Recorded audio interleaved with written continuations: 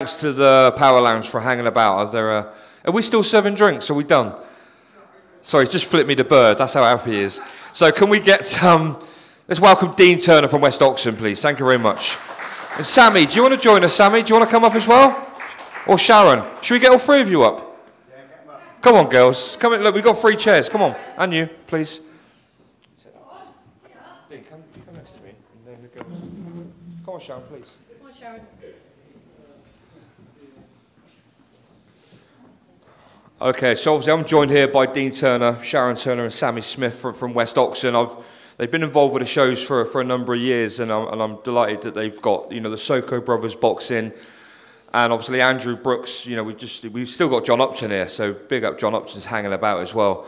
But one thing I love, you know, with this with this fight, and um, and I know Dean's going to talk about it a bit more, but the the, the passion they're showing for their opposition and. Um, you know, it's not about, uh, um, you know, what we're getting out of it. These, this gym, just all they, all they, they got a great little setup there in West Oxon at Crawley Mill. I, I, I mentioned about some favourite gyms. That is also one of my favourite gyms. I've probably got a lot of favourite gyms, but it is. It's a nice place, very friendly, very welcoming, and you've also got some good boxes, Dean.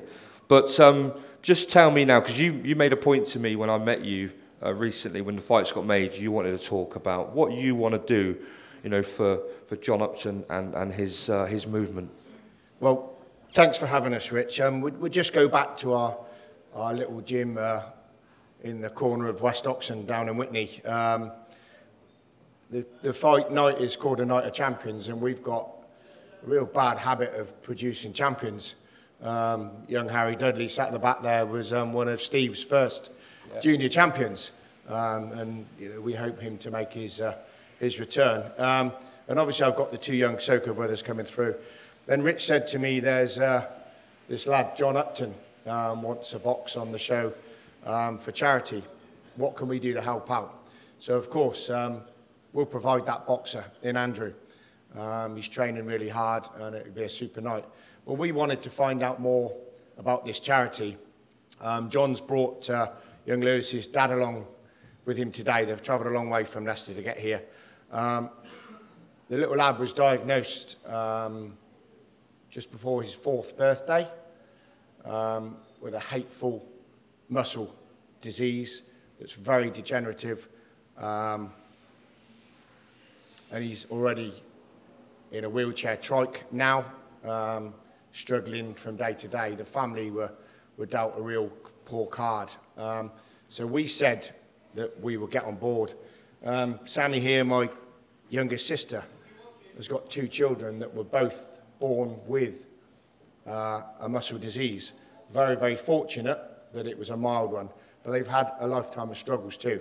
So this charity is very close to us as a family. Um, we've got to hit a target by the 28th of September of just over £10,000. Between Lewis himself, he's been doing a 79 kilometre trike um, to raise his own money, um, which he's done about £1,844, I believe. Yeah. Um, lots of other things have been happening. We've got a lot of people on board that have been giving donations and things, and we are about 10 grand shy at the moment. If there are any local businesses in Swindon, as long with all my friends and things that are in business back in Witney that have been helping out, I want to try and hit that target. He needs a specialist wheelchair. And all it will do, guys, is give him a little bit of normality, if that's what it's called.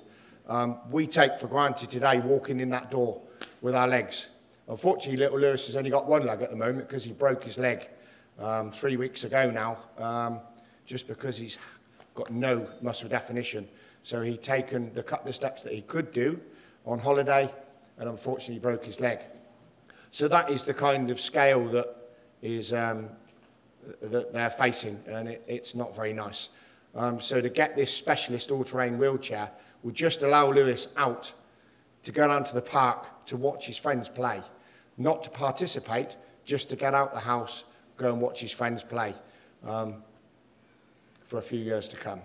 Um, so it's very, very important to us that we do what we can.